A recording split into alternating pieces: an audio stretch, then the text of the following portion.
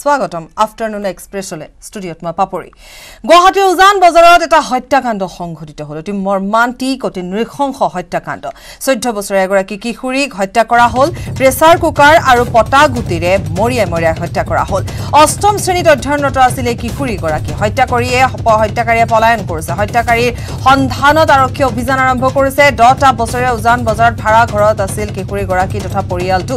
আৰু ইতিমধ্যে আমি এই সন্দৰ্ভত জনাই গৈছো। আমাৰ সাংবাদিক বলেন ভট্টাচাৰ্য ঘটনাস্থলীত আছিল আৰু ইতিমধ্যে ঘটনাৰ সবিশেষ এইমতে বলেনে আমাক কৈছিল যে যিহেতু পুৱাৰ ভাগৰ আহাৰ গ্ৰহণ কৰাৰ পিছত পিতৃ মাতৃ ওলাই গৈছিল তেওঁলোকে কাম কৰা এখনলৈ আৰু ৰেষ্টুৰেণ্টখনত যোৱাৰ পিছতে ওচৰৰ যি পৰিয়ালৰ লোকো তেওঁলোকৰ আছিল গতিকে তেওঁলোকৰ পৰিয়ালৰ লোকে সেই সময়ছোৱাত ঘৰত প্ৰৱেশ কৰাৰ সময়ত যিখন আগফালৰ দুৱাৰ আছিল দুৱাৰখন কিছু মেল খাই আছিল আৰু সেই সময়ছোৱাতে তেওঁ ঘৰত প্ৰৱেশ কৰিছিল। প্ৰৱেশ কৰাৰ অন্তত তেওঁ কিশোৰীগৰাকী শুই থকা দেখিবলৈ পৰি থকা দেখিবলৈ পাইছিল। পৰি থকা অৱস্থা দেখিবলৈ পাই তেওঁ মাত লগাইছিল। হাতত চুই চাইছিল আৰু সেই সময়ছোৱাতে তেওঁ দেখিছিল যে তেজৰ চেকুৰা তেওঁৰ হাতত লাগি আহিছিল। পৰৱৰ্তী সময়ত হুলস্থুল কৰাৰ পিছতে তাত যিসকল লোক তেওঁলোক তাত গোট খাই পিতৃ মাতৃলৈ খবৰ দিয়ে।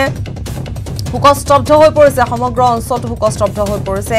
কাৰণ যিগৰাকী কিশোৰীৰ কথা ইতিমধ্যে কোৱা হৈছে যে তেওঁ সকলোৰে সৈতে খুব সোনকালে তেওঁ মিলা প্ৰীতি কৰিছিল বা প্ৰত্যেকৰ সৈতে হাঁহি মাতি তেওঁ থাকিছিল। এনেকুৱা ধৰণৰ এটা পৰিৱেশৰ মাজত তেওঁ আছিল। দহটা বছৰ যিহেতু এগৰাকী কিশোৰী তাত আছিল। চৈধ্য বছৰ মাথো বয়স হৈছিল তেওঁৰ।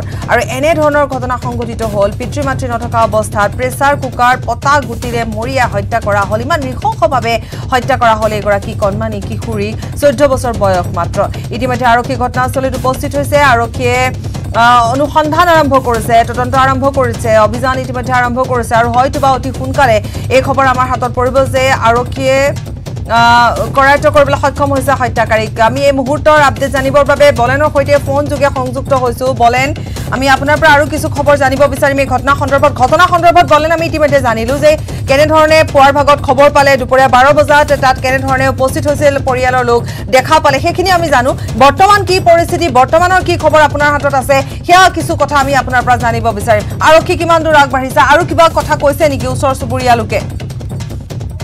চাওক এই মুহূৰ্তলৈকে ফৰেঞ্চিকৰ দলে যি অভিযান চলাই থকা হৈছে ফৰেঞ্চিকৰ দলে যি নমুনা সংগ্ৰহ কৰি থকা হৈছে য'ত আচলতে তেজৰ চিকুৰাৰ পৰা আৰম্ভ কৰি বাসগৃহৰ নমুনা সংগ্ৰহ কৰি থকা হৈছে আৰু ঠিক তাৰে সময়তে এই মুহূৰ্তত স্নিফাৰ ডগ লৈ অহা হৈছে। আৰু স্নিফাৰ ডগৰ জৰিয়তে সমগ্ৰ ঘটনাৰ তদন্ত কৰাৰ ক্ষেত্ৰত ক্ষিপ্ৰতৰ হোৱাৰ ক্ষেত্ৰত আৰক্ষী ব্যৱস্থা গ্ৰহণ কৰাৰ বুলি ইতিমধ্যে জানিব পৰা গৈছে। আৰক্ষীৰ তদন্ত এই মুহূৰ্তত কিমান দূৰলৈ শিপাইছে সেয়া আনুষ্ঠানিকভাৱে কোনো কথা তেখেতসকলে প্ৰকাশ কৰা নাই। কিন্তু এটা কথা আৰক্ষী কিছু সময় পূৰ্বে আৰক্ষী ডি চি পিয়ে এই কথা উল্লেখ কৰিছিলে যে কোনো জ্ঞাত লোকে পূৰ্বতে হয়তো পৰিচিত লোক যি লোকে গৃহটোত হয়তো আগমন ঘটিছিলে বা গৃহটো হয়তো চাইছিলে কিন্তু তেনে এগৰাকী লোকেই বা তেনে দুষ্ট চক্ৰই এই ঘটনা সংঘটিত কৰাৰ এটা সন্দেহ প্ৰকাশ কৰা হৈছে। কিয়নো য'ত আচলতে বাসগৃহটোত তেখেতৰ পিতৃ মাতৃ দিনৰ সময়ছোৱাত নাথাকে আৰু কিশোৰীগৰাকীয়ে বাসগৃহত থাকে আৰু পৰিয়ালৰ যি য'ত বাসগৃহটো য'ত ভাড়াতীয়া বাসগৃহ সেই বাসগৃহটোত থকা যিসমূহ স্থান সেইসমূহ স্থান হয়তো পূৰ্বে অৱগত। গতিকে তেনেকুৱা এটা পৰিকল্পিত ঘটনাৰ ৰূপ দিবলৈ পূৰ্বে জ্ঞাত এগৰাকী লোকেই বা এনেকুৱা ধৰণৰ ঘটনা সংঘটিত কৰিব পাৰে বুলি এটা সন্দেহ প্ৰকাশ কৰা হৈছে। কিন্তু এই মুহূৰ্তলৈকে আৰক্ষীৰ তৰফৰ পৰা ঘটনা কাণ্ডত জড়িত থকা তেনে কোনো ব্যক্তি লোক এই মুহূৰ্তলৈকে তেনেকুৱা ধৰণৰ কোনো সংশ্লিষ্ট লাভ কৰা হোৱা নাই। আৰক্ষীয়ে তদন্ত অব্যাহত ৰাখিছে। ইতিমধ্যে ফৰেঞ্চিকৰ জৰিয়তে ঘটনাৰ যাতে দোষীক উচিত কাৰ্য ব্যৱস্থা গ্ৰহণ কৰিব পাৰে তাৰ কাৰণে যিখিনি তদন্তৰ শাৰীৰত যিখিনি তেখেতসকলৰ বিশ্লেষণ সেই মুহূৰ্তত অব্যাহত ৰখা হৈছে আৰু সেয়েহে দেখিব পোৱা গৈছে ইতিমধ্যে ফৰেঞ্চিকৰ দলৰ লগতে স্নিফাৰ ডগ লৈ অহা হৈছে আৰু স্নিফাৰ ডগৰ জৰিয়তে সেইসমূহ নমুনা পৰ্যবেক্ষণ কৰি তেখেতসকলৰ তদন্ত ক্ষিপ্ৰগতি আগবঢ়াব আৰক্ষী দৃঢ় বিশ্বাস যে এই ঘটনাত তেখেতসকলে সফল হ'ব আৰু দোষী কাৰ্য কৰিবলৈ সক্ষম হ'ব। আপুনি ইতিমধ্যে কৈছে যে আৰক্ষী অনুসন্ধান আৰম্ভ কৰিছে বা আৰক্ষী অতি আৰক্ষীয়ে আনকি আশ্বাসো প্ৰদান কৰিছে যে অতি সোনকালে হত্যাকাৰী কৰায়ত্ব কৰিবলৈ সক্ষম হ'ব। বলেন আৰক্ষীৰ ভাষ্য আছিল এয়া যি কি নহওক আমিও আশা কৰিম যাতে অতি সোনকালে কৰায়ত্ব কৰিবলৈ সক্ষম হয়। বলেন ওচৰ চুবুৰীয়াৰ কি ভাষ্য বা তেওঁলোকে কি সন্দেহ প্ৰকাশ কৰিছে? কাৰণ আপুনি ইতিমধ্যে এই কথাও কৈছে যে ওচৰ চুবুৰীয়া হতভম্ব হৈ পৰিছে। এনেধৰণৰ ঘটনা কেনেকৈ সম্ভৱ হ'ল? কাৰণ তাত যিহেতু আপুনি কৈছে যে কেনেকুৱা এটা পৰিৱেশৰ মাজত আছে তাত ওচৰ চুবুৰীয়া আছে তেওঁলোকৰ পৰিয়ালৰ লোক আছে আৰু প্ৰায় সদায় যিহেতু কিশোৰীগৰাকী ঘৰত অকলেই থাকে পিতৃ মাতৃ ওলাই যায় তাৰ মাজত এই সুযোগ গ্ৰহণ কৰিলে আচলতে হত্যাকাৰীয়ে। বলেন। চব দিন দুপৰতে সংঘটিত হোৱা এনে জঘন্য ঘটনাই পুনৰবাৰ প্ৰমাণ কৰিছে যে সুৰক্ষিত নহয় কিশোৰী বা যুৱতীক সুৰক্ষিত নহয় মহানগৰীৰ মাজমজিয়াত সেই কথা স্পষ্টকৈ প্ৰমাণ কৰিছে। কাৰণ হয় বলেন। বলেনৰ সৈতে সংযোগ আমাৰ বিচ্ছিন্ন হৈছে। আমি পুনৰ সংযুক্ত হ'বলৈ আমি চেষ্টা কৰিম। কিন্তু আমি এই নৃশংস হত্যাকাণ্ড সন্দৰ্ভত পুনৰ কৈছো যে দিন দুপৰতে এই ঘটনা সংঘটিত হৈছে।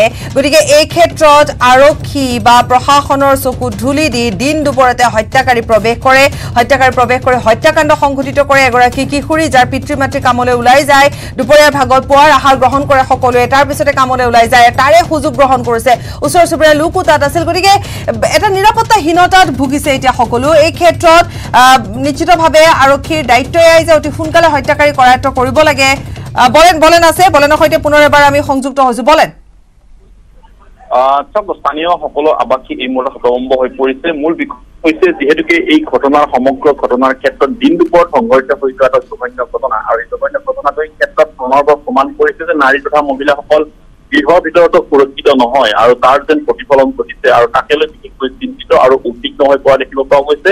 তেখেতসকল স্থানীয় লোকৰ দাবী যে দক্ষিণ আয়ত্ত কৰিব লাগে উচিত শাস্তি বিধিব লাগে আৰু এই ঘটনাত জড়িত থকা মূল যি চক্ৰ সেই চক্ৰ উৎখাত কৰিব লাগে। কিন্তু মূল কথাটো বিষয়টো হৈছে যিহেতুকে দীৰ্ঘ সময় ধৰি এই তেখেতসকলে ইয়াত হিচাপে বসবাস কৰি আছিলে গতিকে ওচৰ চুবুৰীয়াৰ লগত এটা সুসম্পৰ্ক আছিলে আৰু ওচৰ চুবুৰীয়াৰ লগত সুসম্পৰ্ক থকা হেতুকে তেখেতসকলে সেইগৰাকী কিশোৰী অথবা আচৰণ তেখেতসকলে অধিক এই মুহূৰ্তৰ আৱেগ ভৰা তেখেতসকলে বৰ্ণনা কৰিছে যে সুন্দৰ এটা পৰিৱেশত জীৱন যাপন কৰি আছিলে পিতৃ মাতৃয়ে নিজৰ ব্যৱসায় কৰে নিজৰ ব্যৱসায় তেখেতসকলৰ অৰ্থৰে পৰিয়ালটো কোনোমতে চম্ভালি আছিলে আৰু তেনে এটা পৰিয়ালৰ ক্ষেত্ৰত এনেকুৱা ধৰণৰ এটা এটা ঘটনা সংঘটিত কৰিবলৈ পলাই অহা আচলতে যি জঘন্য যি অপৰাধী সেই অপৰাধীৰ ক্ষেত্ৰত ইয়াত কোনো হয় কোনো দুষ্ট চক্ৰ হয়তো পূৰ্বতে জ্ঞাত আছিলে নেকি? আৰু যাৰ কাৰণে এই জ্ঞাত থকা এই চক্ৰটোৱে এই ধৰণৰ সুযোগ গ্ৰহণ কৰিলে এই সকলোবোৰ দিশ এই মুহূৰ্তত এবাৰ উল্লেখ কৰিব বিচাৰিম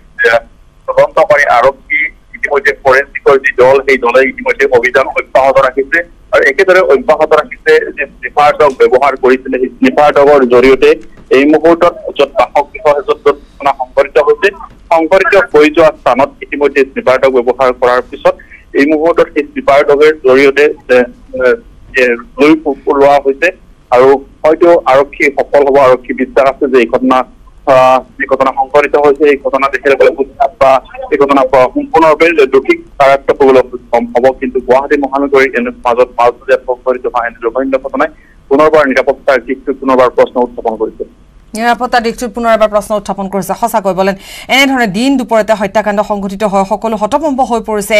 আৰু সঁচাকৈ কেনেধৰণে এটা মৰ্মান্তিক কেনে নৃশংস হত্যাকাণ্ড সংঘটিত হৈছে ইয়াৰ আঁৰত কি মটিভ থাকিব পাৰে? হত্যাকাৰী কি কাৰণত হত্যা কৰিব পাৰে? বলেন আপুনি তাত যিহেতু আছিল অহুকানে পহুকানে আপুনি শুনিব পাইছিল নেকি? কিবা কাৰণত তাত ডকাইতি কৰিবলৈ অহা চুৰ কৰিবলৈ অহা বা বাধা প্ৰদান কৰোঁতে মৰা এনেকুৱা ধৰণৰ কিবা যিটো সাধাৰণতে হোৱা দেখিবলৈ পোৱা যায়। বলেন আপুনি যদি তাত যিহেতু আপুনি কিছু সময় আছে বা এতিয়াও আছে গতিকে এনেকুৱা ধৰণৰ কিবা অনুমান কৰিব পাৰি নেকি? যে তেনেকুৱা ধৰণৰ এটা মটিভ লৈ হত্যাকাৰী আহে আৰু যিহেতু কিশোৰীগৰাকী ঘৰতে আছিলে গতিকে হত্যা কৰিলে এনেকুৱা হ'ব পাৰে নেকি? মানে এটা অনুমান প্ৰাথমিক প্ৰাথমিক ভিত্তিত তেনেকুৱা ধৰণৰ কোনো ধৰণৰ পৰিয়ালৰ লোক বা অন্যান্য চুবুৰীয়াসকলে কোনো ধৰণৰ এনেকুৱা অনুমান কৰিব পৰা হোৱা নাই। কাৰণ তেখেতসকলে ভবা নাছিল যে এনেকুৱা ধৰণৰ ঘটনা এটা কোনোবা শত্ৰু বা কোনোবা দুষ্ট চক্ৰ তেখেতসকলৰ পৰিয়ালৰ সৈতে কৰিব পাৰে বুলি তেখেতসকলৰ কোনো ধৰণৰ তেখেতৰ শত্ৰুতা বা তেনেকুৱা ধৰণৰ ব্যক্তিৰ প্ৰতি তেখেতসকলৰ কোনো ধৰণৰ এই মুহূৰ্তত চকু নাই। কিন্তু এটা কথা এই মুহূৰ্তত ক'ব পাৰি যে যিহেতুকে গডৰেজৰ আহ, দুটাকৈ গডৰেজ মুকলি কৰি থোৱা হৈছিলে কাপোৰ যি কানি যিসমূহ সামগ্ৰী আছিলে সকলো পেলাই থোৱা আছিলে। গতিকে ক'ব পাৰি যে হয়তো চোৰৰ লক্ষ্য বা দুষ্ট চক্ৰৰ লক্ষ্য সম্ভৱতঃ তেনেকুৱা ধৰণৰ এটা লক্ষ্য লোৱা হৈছিলে আৰু যি লক্ষ্য লৈ হয়তো প্ৰৱেশ কৰিছিলে। তাৰপিছত যদি সেই কিশোৰীগৰাকী যদি খোৱাপাতিত আছিলে তাৰপিছত এই ঘটনা অৱগত হোৱা বুলি যদি তেনেকুৱা ধৰণৰ কোনোবা লোকে তেখেতসকলৰ পৰিচিত লোকে যদি এনেকুৱা ধৰণৰ ঘটনা কৰিছে তেতিয়াহ'লে হয়তো অৱগত হ'ব বুলি ভৱিষ্যত তেখেতৰ সন্দেহ ৰাখি তাৰপিছত হয়তো এনেকুৱা অঘটন কৰিব পাৰে তাৰপিছত দ্বিতীয়টো চৰ্ত কাৰণ হ'ব পাৰে যে যদি কিশোৰীগৰাকীক প্ৰথমতে লক্ষ্য কৰি লোৱা হৈছিলে কিশোৰীগৰাকী আঘাতৰ প্ৰথম লক্ষ্য কৰি লোৱা হৈছিলে আৰু সেই ঘটনা সংঘটিত হৈ যোৱাৰ পিছত পৰৱৰ্তী সময়ছোৱাত সেই ঘটনাক চুৰ হোৱাৰ ৰূপ দিবলৈও যেন গডৰেজ যি দুটাকৈ গডৰেজ আছিল সেই গডৰেজসমূহ খুলি দিয়া হৈছিলে আৰু তাৰ পিছতে আচলতে পৰিকল্পিত ঘটনা সংঘটিত কৰিছিলে। এনেকুৱা ধৰণৰ হয়তো দ্বিতীয়টো ৰূপ ল'ব পাৰি। গতিকে এই মুহূৰ্তত দুয়োটা বিষয়ৰ ক্ষেত্ৰতে আচলতে আৰক্ষী তেখেতসকলৰ তদন্ত অব্যাহত ৰাখিছে। হয়তো চোৰৰ ৰূপ দিয়া ঘটনা হ'ব পাৰে বুলি তেখেতসকলৰ তদন্ত অব্যাহত ৰাখিছে আৰু আনফালে কোনো জ্ঞাত লোকে ইয়াত প্ৰৱেশ কৰি আচলতে এই ঘটনা সংঘটিত কৰিব পাৰে বুলি তেখেতসকলে সেই বিষয়ত তেখেতৰ তদন্ত অব্যাহত ৰাখিছে। গতিকে এই সমগ্ৰ ঘটনাৰ ক্ষেত্ৰত হয়তো কিছু সময়ৰ প্ৰয়োজন হ'ব। ইতিমধ্যে আৰক্ষী আয়ুক্ত উপস্থিত হৈছে আৰু আৰক্ষী আয়ুক্তই আহি ঘটনাস্থলীত নিজেই পৰ্যবেক্ষণ কৰিছে আৰু পৰ্যবেক্ষণ কৰি সম্ভৱতঃ ইয়াৰ যি তদন্ত সেই তদন্ত অতি ক্ষীপ্ৰত কৰিবলৈ সক্ষম হ'ব নিশ্চয়। বলেন আপোনাক ধন্যবাদ জনাইছোঁ। আৰু এই ঘটনাৰ সবিশেষ আমি দি যাম আপডেট আমি দি যাম কোন সময়ত কেনেধৰণে আৰক্ষীয়ে কেনেধৰণে তদন্ত আগুৱাইছে আগবঢ়াইছে বা আৰু ভাষ্য আহিছে নেকি নতুন ভাষ্য আহিছে নেকি? কাৰণ এই সমগ্ৰ ঘটনাটোৰ আচলতে এই মুহূৰ্তলৈকে যে এই এটা পৰিকল্পিত হত্যাকাণ্ড নে হঠাৎ ঘটা হত্যা হত্যাকাণ্ড নে চুৰ ডকাইত কৰিবৰ বাবে আহি দুষ্কৃতিকাৰীয়ে হত্যা কৰি থৈ গ'ল এতিয়ালৈকে যিহেতু প্ৰাথমিক অনুসন্ধানত কোনো কথা স্পষ্ট হোৱা নাই। বলেনে এই মুহূৰ্তত এটা কথা ক'লে যে যিহেতু দুয়োটাকৈ আলমাৰি খোলা অৱস্থাত আছিল গতিকে এনেকুৱাও হ'ব পাৰে যে চুৰ কৰিবলৈ আহিছিল বা এনেকুৱা হ'ব পাৰে যে কোনো ধৰণৰ লোকে পূৰ্বৰে পৰা হয়তো চাই আছিল বা পূৰ্বৰে পৰা হয়তো এটা পৰিকল্পনা কৰি লৈছিল যে কিশোৰীগৰাকীক হত্যা কৰিব বা চুৰ ডকাইতি কৰিব বা হয়তো বা কোনো কাৰণত হত্যাকাণ্ড সংঘটিত হ'ব বা হত্যা কৰিব আৰু তাৰপিছত এটা বেলেগ ধৰণৰ ৰূপ দিবৰ বাবে আলমাৰি খুলি থৈ গৈছে। এনেকুৱাও হ'ব পাৰে যিকোনো হ'ব পাৰে কিন্তু যিয়েই নহওক যিয়েই নহওক কিন্তু কথা মাথো এটাই যে সুৰক্ষিত নহয় কোনো সুৰক্ষিত নহয় বিশেষকৈ যুৱতীসকল কিশোৰীসকল। আৰু ইটোৰ পাছত সিটোকৈ ঘটনা এতিয়া সংঘটিত হ'বলৈ ধৰিছে ৰাজ্যৰ বিভিন্ন প্ৰান্তৰ পৰা এনেধৰণৰ খবৰ আহি পৰিছে। ক'ৰবাত যদি বাটে পথে হত্যা কৰা হৈছে ক'ৰবাত বাসগৃহতো আনকি কিশোৰী সুৰক্ষিত নহয়।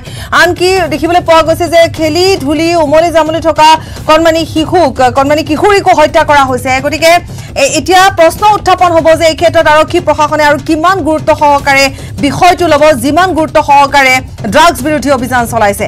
আমি অপেক্ষা কৰিম যাতে অতি সোনকালে অতি তৎকালীনভাৱে আৰক্ষীয়ে কৰায়ত্ব কৰিব পাৰে দোষীক এই মুহূৰ্তত বলেনে আমাক সবিশেষ জনাইছে। পৰৱৰ্তী বাতৰিত আমি আৰু সবিশেষ দিবৰ বাবে চেষ্টা চলাম। ধন্যবাদ বলে।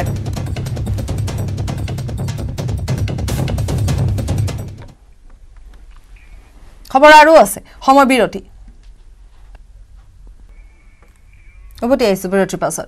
চাইবুৰ ৰহমানৰ এছ বি আই লকাৰত আৰক্ষীয়ে তালাচী চলালে আজি। লকাৰত একোৱে উদ্ধাৰ কৰিব নোৱাৰিলে চি এম ভিজিলেন্সে। নিৰাশ মনে ঘূৰি গ'ল চি এম ভিজিলেন্সৰ দল। সম্পত্তিৰ তালিকা আৰু দীঘলৈ অহাৰ সম্ভাৱনা। পঞ্চাছটা বীমা চৌব্বিছটা বেংক একাউণ্ট আছে চাইবুৰ ৰহমানৰ। এতিয়াও বিভিন্ন চৰকাৰী বিভাগৰ পৰা সময়মতে নথি পত্ৰ লাভ কৰা নাই অভিযানকাৰী দলে। তিনি মাহৰ ভিতৰত চাৰ্জশ্বিট দাখিল কৰাৰ ক্ষেত্ৰত অনিশ্চয়তা তদন্তকাৰী দলৰ পুনৰ এবাৰ কৈছো চাইবুৰ ৰহমানৰ এছ বি আই লকাৰত আৰক্ষী চলাল- আৰক্ষীয়ে তালাচী। লকাৰত একোৱে উদ্ধাৰ কৰিব নোৱাৰিলে চি এম ভিজিলেন্সে। নিৰাশ মনে ঘূৰি গ'ল চি এম ভিজিলেন্সৰ দল। সম্পত্তিৰ তালিকা আৰু দীঘলীয়া হোৱাৰ সম্ভাৱনা আছে। পঞ্চাছটা বীমা চৌব্বিছটা বেংক একাউণ্ট আছে চাইবুৰ ৰহমানৰ। এতিয়া বিভিন্ন চৰকাৰী বিভাগৰ পৰা সময়মতে নথি পত্ৰ লাভ কৰা নাই অভিযানকাৰী দলে। তিনি মাহৰ ভিতৰত চাৰ্জশ্বিট দাখিল কৰাৰ ক্ষেত্ৰত এতিয়া অনিশ্চয়তা প্ৰদান কৰিছে তদন্তকাৰী দলে। মানে সিদিনাই কৈছিল মানে একো পোৱা নাই বুলি। আজি খুলিলেও মানে একো পোৱা নাই। কিমান নম্বৰ লকৰ নম্বৰ টুৱেণ্টি টুৱেণ্টি আজি খুলিলে নে আপোনালোকে? খুলি চালোঁ আজি কি কি পাইছে? পোৱা নাই। একোৱে পোৱা নাই? তেওঁলোকৰ লাষ্ট কেতিয়া চেক চেক আউট আছিলে সেইটো ইয়াৰ আগতে কি Just এবাৰ এবাৰ চে- হেৰি কৰিছিলে এইটো যোৱা বছৰে। মানে খুলিছে কিন্তু মানে পোৱা নাছিলে। হুম, হুম। বেংকৰ ৰেকৰ্ডটো চালোঁ। মানে জাষ্ট মানে খোলাৰ সময়তে চিগনেচাৰ বিজেপি যোগদান ফণীধৰ তালুকদাৰৰ। নিজৰ ভাষণত ফণী তালুকদাৰে কয় যে আজিৰ দিনটো ভৱানীপুৰবাসীৰ বাবে দীপাৱলী। মাত্ৰ তিনি মাহৰ পিছতে দল বাদ দিয়াটো ৰেকৰ্ড। বিজেপিক মই ভাল পাওঁ কিয় নাজানো? বিৰোধীত থাকি দেখিলো বিৰোধী মহাশূন্য। এ আই ডি এফ ভাল দল কিন্তু মন্দিৰত যাব নোৱাৰা হৈ থাকিলো। এ আই ডি এফ বুলি ক'লে মন্ত্ৰী কি আই চি এজনেও ফোন নধৰে কাম নকৰে। বিজেপিত যাম বুলি কোৱাৰ পিছত এতিয়া এটা ফোনতে ৰিচিভ কৰে। এনেধৰণৰ বিভিন্ন কথা ক'লে ফণী তালুকদাৰে। বিজেপিত যোগদান কৰাৰ পিছত এ আই ডি এফৰ সন্দৰ্ভ জনালে যে এ আই ডি এফ এটা ভাল দল কিন্তু কোনেও ফোন ৰিচিভ নকৰে। এ আই ডি এফৰ বুলি ক'লে মন্দিৰত যাব নোৱাৰা হৈ থাকিলো। গতিকে এনেধৰণৰ বিভিন্ন কথা ক'লে যি কি নহওক ভৱানীপুৰবাসীৰ বাবে আজিৰ দিনটো দীপাৱলী বুলিও উল্লেখ কৰিলে ফণীধৰ তালুকদাৰে। তিনি মাহৰ পিছতে দল বাদ দিছে মাত্ৰ তিনি মাহৰ পিছতে। আৰু লগতে কৈছে যে বিৰোধীত থাকি দেখিলে বিৰোধী মহাশূন্য। অসমতে আলোড়নৰ সৃষ্টি হৈছে। অসমত ৰেকৰ্ড মাত্ৰ তিনি মাহৰ পিছতে বিধায়ক পদ বাদ দিলে এটা দল বান্ধি সকলোৱে ৰখি আছিল ফণিদালক দল কিয় বাদ দিলে কি কব মিডিয়াই মোক একবাৰ খেদি ফুৰিছে মই কম এক তাৰিখে কম। আজি কম। আজি মই খোলাকে কম কলো। কথাটো হল বিজেপি পাৰ্টীক মই ভাল পাওঁ। কিয় ভাল পাওঁ নাজানো? মুঠতে মই ভাল পাওঁ। সমাজ কলিতাৰে সিদিনা ৰাজ্যিক সভাপতি নাছিল। মই পৰম বন্ধু মানুহ। দুই বছৰ আগৰ পৰা কুট কুটাই আছো যে মই এঘাৰ চনত ইলেকশ্যন খেলিলো। ষোল্লত ইলেকশ্যন খেলিলো। তাৰপিছত মোৰ ইলেকশ্যন খেলাৰ একৈশত কোনো মনোবৃত্তি নাই। ভৱেশ কলিতা ছাৰক মই লগ ধৰো ধৰি কওঁ ভাই মোক বিজেপিৰ এজন সদস্য কৰি দিয়ক বোলো কিয় যে মই নৰেন্দ্ৰ মোদীজীৰ আদৰ্শত মই আপ্লিত। বিজেপি পাৰ্টীৰ আদৰ্শৰ প্ৰতি মই আপ্লুত। গতিকে মোক এজন সদস্য সাধাৰণ সদস্য কৰি মোক বৰবাদ কৰি দিয়ক মোক টিকট নালাগে মোক কেৱল একদম কথা আগত কৈছো মোক কেৱল আপোনালোকে মোক পাৰ্টি সোমাই দিয়ক। কাৰণ বুঢ়া কালটো মই মন্দিৰ নামঘৰে যাই মানুহক সেৱা কৰিব পাৰিম। আজিৰ পৰা ৰাজ্যত নতুন এছ অ' পি স্বাস্থ্যমন্ত্ৰী কেশৱ মহন্তই প্ৰকাশ কৰিলে নতুন এছ অ' পি ব্যাপক শিথিলতা অনা হৈছে কভিড নিয়মত। নিশা ন বজাৰ পৰা পুৱা পাঁচ বজালৈ সান্ধ্যই নিশা আঠ বজালৈ দোকান বজাৰ খুলিব পাৰিব। আন্তঃ জিলা যাতায়াত সম্পূৰ্ণ খোলা। বাছত এশ শতাংশ যাত্ৰী নিব পাৰিব। বাছত থিয় কৰাই যাত্ৰী নিব নোৱাৰিব। যাত্ৰী আৰু চালকে মাস্ক পৰিধান কৰাটো বাধ্যতামূলক। এপালি ভেকচিন লোৱাটো বাধ্যতামূলক। তিনিদিনৰ ভিতৰত সকলোৱে ভেকচিন ল'ব লাগিব। বাছে যদি কভিড নামানে কভিড বিধি নামানে তেতিয়াহ'লে লাইচেন্স বাতিল কৰা হ'ব। ৰাইজক কভিড নিয়ম মানিবলৈ আহ্বান জনোৱা হৈছে। এইচ এছ স্নাতক আৰু স্নাতকোত্তৰ শ্ৰেণী খুলিব। শিক্ষক কৰ্মচাৰী ভেকচিন লোৱাটো বাধ্যতামূলক। ভেকচিন নোলোৱাসকলক তিনি দিনৰ সময়। এটা শ্ৰেণীত ত্ৰিছৰ পৰা অধিক ছাত্ৰ ছাত্ৰী নাথাকিব। ওঠৰ বছৰৰ বাবে দুই তিনি মাহ থকা সকলোকো অনুমতি। হোষ্টেলত দুই পালি ভেকচিন লোৱাটো বাধ্যতামূলক। ছয় ছেপ্টেম্বৰৰ পৰা পাঠদান আৰম্ভ হ'ব। সাপ্তাহিক বজাৰৰ ক্ষেত্ৰত স্থানীয় প্ৰশাসনে সময় দিব। ছয় ঘণ্টাৰ বাবে সাত বজাৰ খোলাৰ অনুমতি। সভা সমিতিত পঞ্চাছজন লোকৰ অনুমতি। সভা পাতিবলৈ স্থানীয় থানাত অৱগত কৰিলেই হ'ব। সভা পাতিবলৈ অনুমতি লোৱাৰো প্ৰয়োজন নাই। সভাত দুশ লোক হ'লে উপায়ুক্তৰ অনুমতি ল'ব লাগিব। বিবাহ আৰু অন্ত্যেষ্টিক্ৰিয়াত পঞ্চাছজনৰ অনুমতি। প্ৰধান ধৰ্মীয় অনুষ্ঠানত ঘণ্টাত চল্লিছজনক অনুমতি। বিমান বন্দৰত দুপালি ভেকচিন লোৱাসকলক ৰেহাই। দুপালি লোৱাসকলৰ পৰীক্ষা নহয় বিমান বন্দৰত এপালি লোৱাসকলৰ বাবে পৰীক্ষা বাধ্যতামূলক। এপালি ভেকচিন লোৱা কৰ্মচাৰী কাৰ্যালয়লৈ আহিব লাগিব।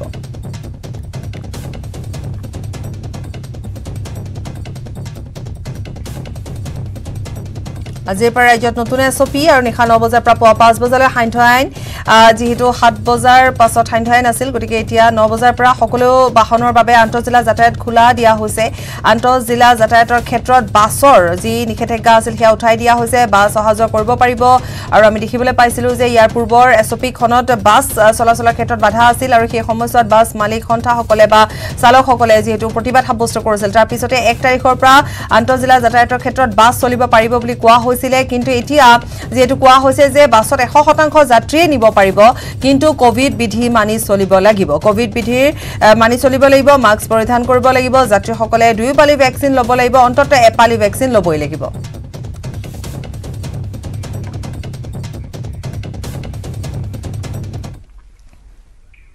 আৰু ইয়াৰে সৈতে বাতৰিৰ পৰা বিদায় লৈছো। নমস্কাৰ।